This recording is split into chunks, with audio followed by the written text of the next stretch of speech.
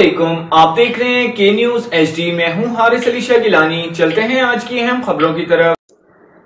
تازہ ترین خبروں سے باخبر رہنے کے لیے ہمارا چینل سبسکرائب کیجیے۔ لیے چلیں گے خیر پور ناتھنشاہ جہاں سے رپورٹ کر رہے ہیں ہمارے نمائندے سید سفیر حسین نقوی۔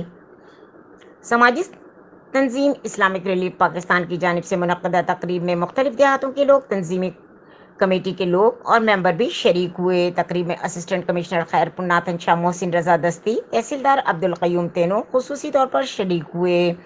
تقریب میں شریک تعلقہ ایجوکیشن افسر پرائمری الہیار کھوسو نے بتایا کہ سیلاب کے بعد پرائمری اسکولوں میں فرنیچر اور باؤنڈری وال نہیں ہے خیر پور ناتن شاہ شہر میں بھی فرنیچر کی شدید ضرورت ہے۔ ایس ایم سی فنڈ بھی بند ہیں۔ تعلقہ ایجوکیشن افسر سیکنڈری اور فیمیل سکندر علی گاڑھی نے بتایا کہ گرلز اسکول کی باؤنڈری وال نہ ہونے کے باعث فیمیل ٹیچرز اور بچیوں کو تعلیم حاصل کرنے میں دشواری ہو رہی ہے۔ Assistant director agriculture Zia ul Hasnain جو نے جو نے بتایا کہ سیلاب کے بعد زرعی نظام شدید متاثر ہوا۔ ہم نے کسانوں کو بیج اور کھاد دینے میں مدد فراہم کی ہے۔ جبکہ دیہاتی تنظیم کے رہنماؤں نے کہا کہ سیلاب کے تباہ کاری کے بعد دیہاتوں میں لوگ آج بھی سردی ہو یا گرمی، تینوں میں رہنے کے مجبور ہیں۔ ان کی زندگی بڑی مشکل میں گزر رہی ہے۔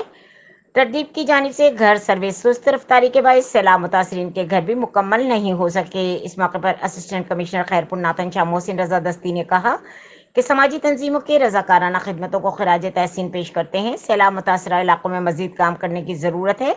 ہم تمام اداروں سے رابطے میں رہ کر متاثرہ لوگوں کے مسائل حل کرنے کی کوشش کر رہے ہیں۔ مزید خبروں اور اپڈیٹس کے لیے ہمارے ساتھ رہیے گا۔ تب تک کے لیے اپنا خیال رکھیے گا۔ اللہ حافظ۔